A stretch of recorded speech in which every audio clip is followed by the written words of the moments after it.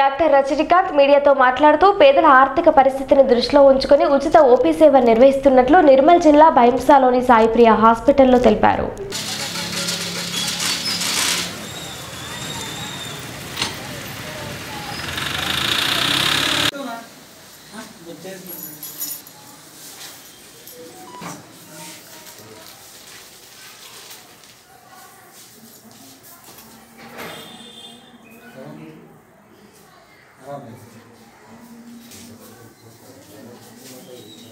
మరి ఉంటావు రెండు రోజులు ఉంటావు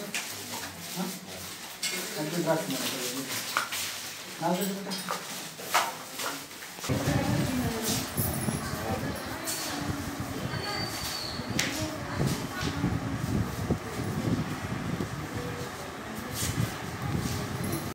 నా పేరు డాక్టర్ రజనీకాంత్.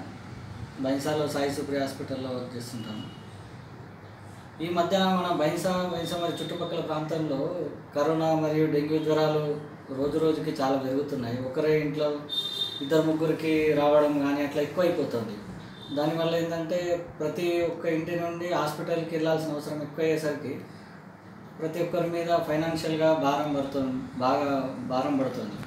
దాన్ని దృష్టిలో పెట్టుకొని మన ఈ బైన్సా చుట్టుపక్కల ప్రాంతాల వారికి ఎవరికైనా కూడా ఎటువంటి సమస్యలు వచ్చినా జ్వరమే కాకుండా ఎటువంటి ఆరోగ్య సమస్యలు వచ్చినా ఈ విష జ్వరాలు తగ్గేంత వరకు మన సాయి సుప్రియ హాస్పిటల్లో ఓపీ ఉచితంగా చూస్తున్నాం అన్నట్టు.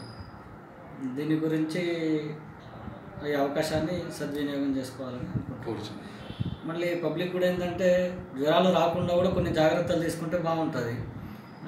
డ్రెస్సులు ఫుల్ హ్యాండ్స్ వరకు వేసుకుంటే మంచిది. హాఫ్ హ్యాండ్స్ బదులు ఫుల్ హ్యాండ్స్ వరకు. ఇంట్లో పిల్లలకు కూడా డ్రెస్ టోటల్గా శరీరం మొత్తం కవర్ అయ్యేటట్టు డ్రెస్సులు వేసుకుంటే.